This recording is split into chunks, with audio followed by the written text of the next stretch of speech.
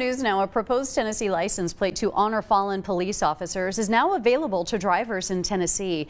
The plate is called Honoring the Fallen. The money from buying the plate will help provide emotional and financial support to surviving families of law enforcement officers killed in the line of duty.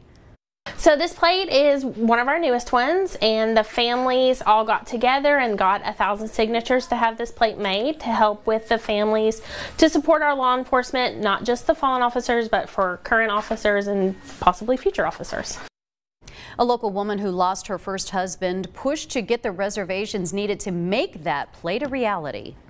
It means a lot to me that Mark is never forgotten but that no officer has ever forgotten. So to me, that's my hope. People see these plates and it just kind of makes you think a little bit more that these officers are people and they do have families who love them.